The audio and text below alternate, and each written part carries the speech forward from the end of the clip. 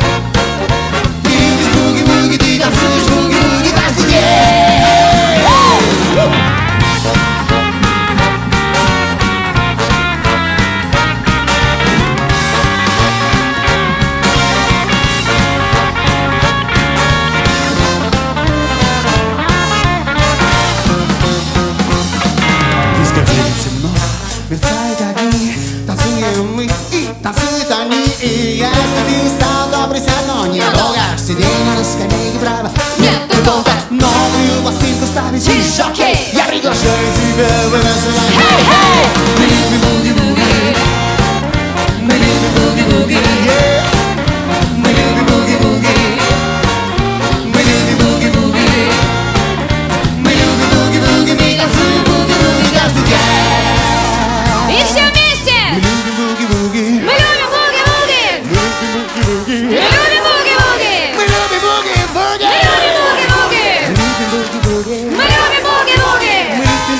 Буги-буги Мы танцуем буги-буги каждый день Мы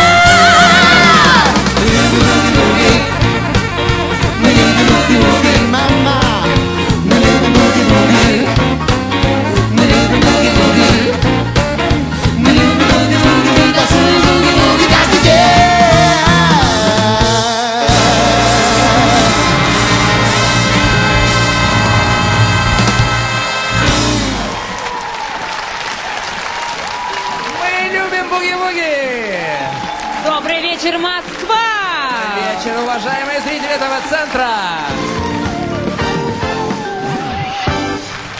Человек-легенда, сценарист старой формации, как он называет себя сам. И при этом один из создателей самых ярких и самых обсуждаемых фильмов последних лет.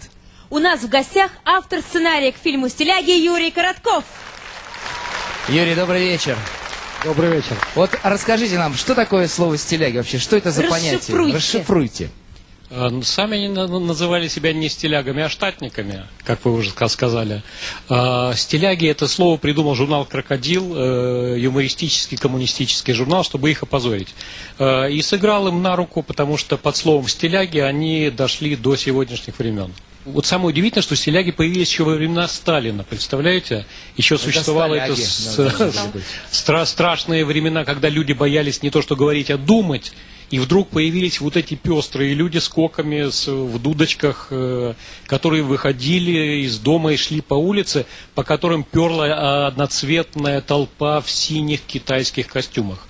А вот места, конкретные места в Москве, где собирались э, стиляги? Те, у кого были носки в синюю полоску, они сидели на площади Пушкина. А те, э, у кого были оранжевые, что ли, носки, я не помню, они сидели туда ближе к э, Большому театру. Э, Почему-то было такое разделение, это были разные команды. Вот. на- Надо сказать, что задача любого, в фильме, по-моему, это есть, задача любого стиляги была попасть на Бродвей, то есть на участок э, Тверской улицы от площади Пушкина до Центрального телеграфа, потому что на этом э, пятачке стиляг не трогали. Там каждый второй был КГБшник. Это было их э, место. э, их там пасли. И удобнее всегда держать э, инакомыслящих в одном месте. Э, Поэтому их там не трогали, а вот добраться до туда, вот герой мой, э, в, э, которого сыграл Антон Шагин, э, Мелс, э, в стилягах, э, стиляги поражаются, что он приехал в э, стиляжной одежде. Потому что это надо было выдержать страшные испытания, косые взгляды, я не лягу под стилягу, так сказать, э, плевки в спину и так далее, и так далее. Э, Судьба стиляг, в общем, была трагична э, многих. Некоторые из них замечательно дожили до наших дней. Но известно, что я, Юлиан Семенов был наш детективщик э, с стилягой. Э, Морягин, народный арти- артист, э, режиссер замечательный был стилягой. Э, Генерал милиции Хруцкий был записным стилягой. Генерал милиции. Он потом стал генералом, наверное. Сначала был просто стилягой, вырос в генерала. Он познакомился, будучи стилягой, познакомился близко с милицией и потом э, сам стал генералом.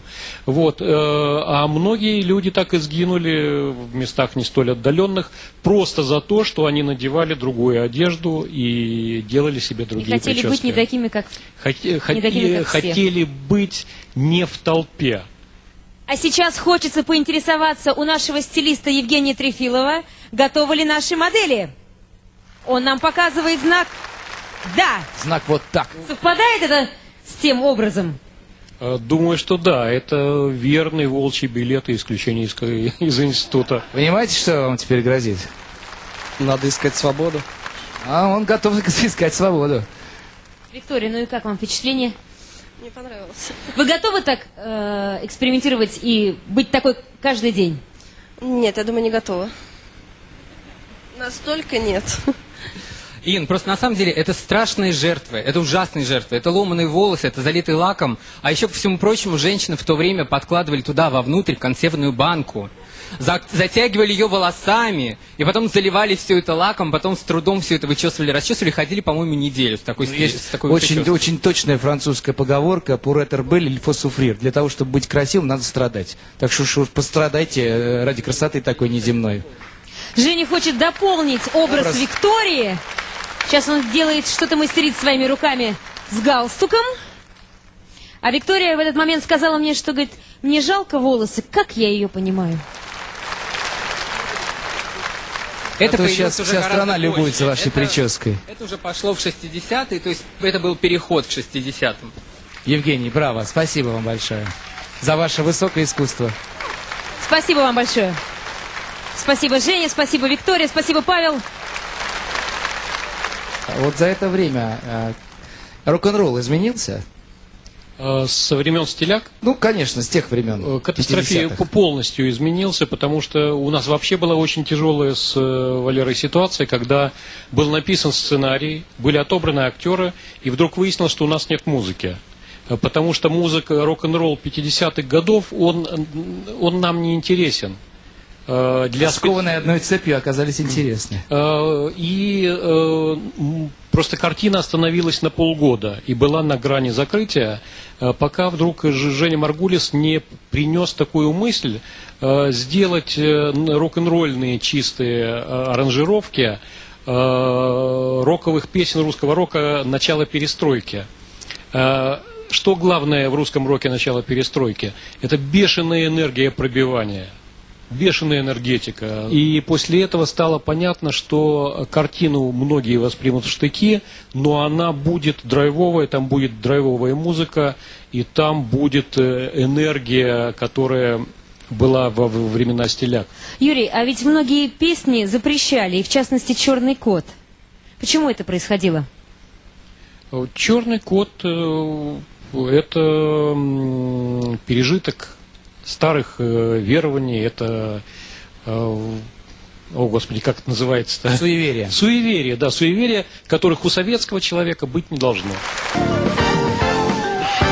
На сцене режиссер и сценарист кинофильма «Москва. Любовь моя», истинный поклонник творчества Чака Берри и Элвиса Пресли Джем Шериф. Wop bop loom bam blam bam bam to the fruity,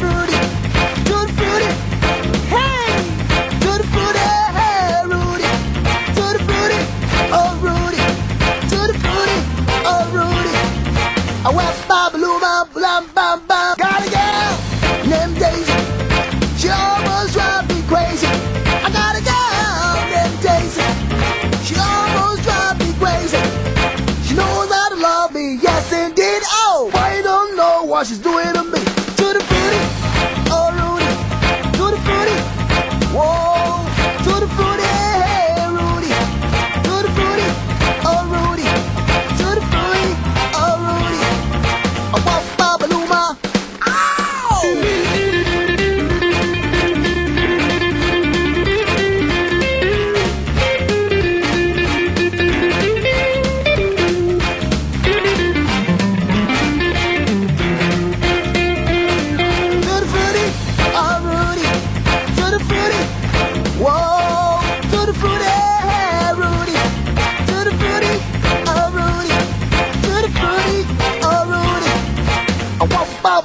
blam bam bam. Got a girl named Daisy. She almost drives me crazy. I got a girl named Daisy. She almost drives me crazy. She knows how to love me, yes indeed. But he doesn't know what she's doing